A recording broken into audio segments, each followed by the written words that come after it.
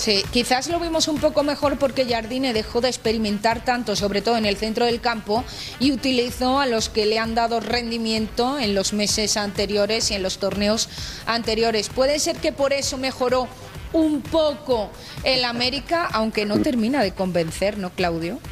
Eh, sí, está regresando Jardine a la formación que le dio resultado de salir bicampeón, ¿no? Porque había intentado línea de cinco con, y bueno, lamentablemente se le han lesionado jugadores importantes, ahora recientemente Brian Rodríguez.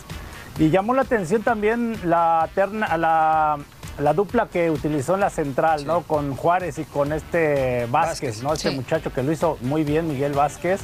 Eh, dejó en la banca a Dagoberto, que lo venía poniendo del lado derecho, ¿no? Y ahora ingresó a Kevin Álvarez. La verdad que no se vio mal. Ahí veíamos el gol que, donde se equivoca el Chicote Calderón porque no marca bien, en lugar de marcar por dentro. Pero bueno, América emparejó, creo que está mejorando cada vez más. El que sí no lo veo bien, y otra vez a Diego Valdés, que está dejando eh, muchas cosas ahí por mejorar, ¿no? O sea, realmente tiene que, que meterse más en ritmo. Aparte también el arbitraje fue polémico, ¿no? Porque César Arturo Ramos creo que dejó ir eh, muchas, este, ahí, eh, por ejemplo, un penal que comete Andrés Dilo, Guardado. Claudio. No, bueno, voy a hablar, voy a hablar a favor de la América y raro, y raro, ¿eh? Hablar a favor de la América. No, que no, no, no le marcan un penal, no le marcan un penal a, Guardado, ¿no? Sobre Dávila y después la expulsión que tenía que ser sobre eh, Jonathan Dos Santos, ¿no? La barrida que le pone por atrás a Mendoza, la, la verdad fue criminal y ahí se equivoca el árbitro. Ah, me creía que no lo ibas a decir. Martín Zúñiga, lo peor es que aunque el América mejore un poquito, no le da para ganarle a unos Pumas que llevan cuatro partidos consecutivos sin ver la derrota. Eso eh, sí, las... León, perdón, León, eso es. León contra León, el León de Bericho. Pumas le ganó 1-0, efectivamente. La cuestión que de tres eh, partidos, de nueve puntos posibles, Solo ha conseguido dos el equipo de Jardine y al técnico se le ve tranquilo. Oye, ¿tú estarías tranquilo? Porque yo no. Pues que, creo que ha creado la demasiada espalda para aguantar todas las críticas. Eh, precedido de un bicampeonato, yo creo que sabe bien que pues es, él confía en su equipo. No estamos en el día a día, no sabemos cómo lo está viendo él en el día a día. A lo mejor él confía más. En la lejanía, yo te voy a decir lo que siento. Yo era de los que el torneo pasado, cuando América no jugaba bien, que fue la mayoría del, torneo, ganaba y siempre decía, este equipo es para ser bicampeón. Este equipo a mí me gusta porque al final encuentra cómo ganar.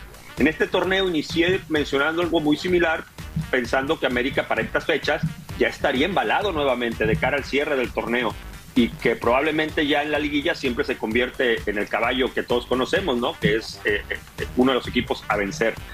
Ahora comienzo a tener mis dudas con la mejoría que ya menciona Mariano, independientemente de eso sí comienzo a tener ciertas dudas porque en lo individual no los veo bien en muchas zonas y creo que eso lo que hace fuerte un equipo como el América en las finales es que individualmente se enganchan y sacan los partidos. Por eso es que a final de cuentas, jueves bien o jueves mal, sacas el resultado.